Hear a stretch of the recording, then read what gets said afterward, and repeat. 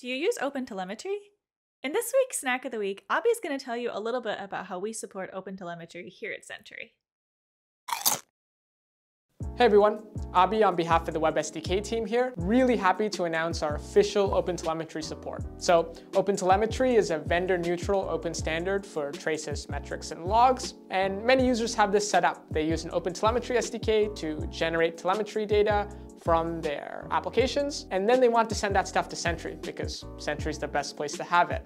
Uh, before, this didn't work at all because our formats were slightly different and there were kind of other hassles. But now today we made this work with our five SDKs, Node, Python, Java, Ruby, and Go. So kind of let's walk through how this works. We have this example here. This is a Node application with kind of an OpenTelemetry SDK setup. So you can imagine your average OpenTelemetry user, they have something like this going on. Okay, let's say they wanted to add Sentry. What do they do? They just add two lines of code. They add a, a Sentry span processor and a Sentry propagator, one to kind of transform OpenTelemetry spans into Sentry spans, and another one, a propagator to get distributed tracing working. And that's pretty much it. And with that, you get OpenTelemetry data in Sentry.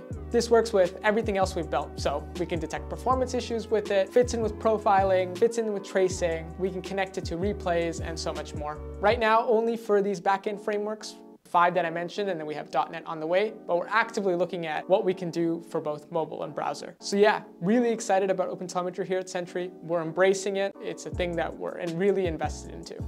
Thanks, Abhi. Our Node, Python, Java, Ruby, and Go SDKs all transitioned from beta to GA just this week.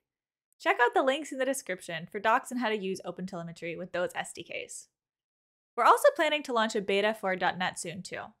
You can hop into our GitHub discussion, also linked in the description, to let us know what you think. And on March 23rd, Sentry's going to be hosting an AMA all about OpenTelemetry, so stay tuned for that. Thanks for watching!